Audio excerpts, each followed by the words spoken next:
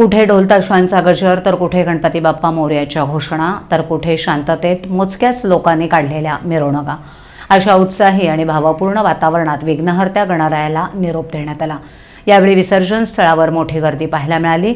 तर कोणताही अनुचित प्रकार घडू नये म्हणून संपूर्ण ठाण्यात नाक्या नाक्यावर पोलिसांचा बंदोबस्त ठेवण्यात आला होता.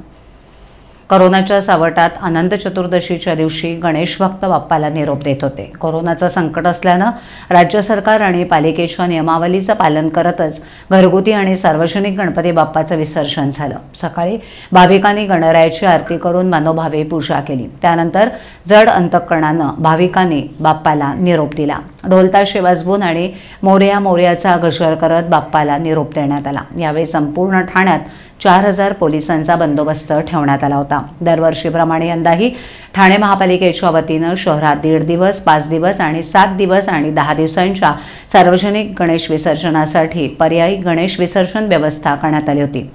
या विसर्जन व्यवस्थेत अंतर्गत रायलादेवी येथे दोन आंबे घोसावळे उपवन पायलादेवी निलकंठ वुड्स टिकुर्शिनीवाडी बाळकोम रेवाळे खारेगाव इत्यादी ठिकाणी एकूण तेरा कृत्रिम तलावांची व्यवस्था पालिकेनं उपलब्ध करून दिली होती.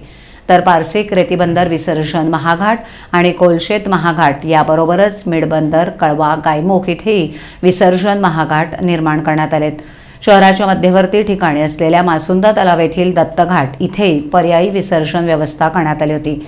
शिवाय मासुंदा तलावाच्या अहिल्याबाई होळकर यांच्या पुतळ्यालगत असलेल्या घाटावरही गणेश मूर्ती स्वीकारण्याची व्यवस्था करण्यात आली होती.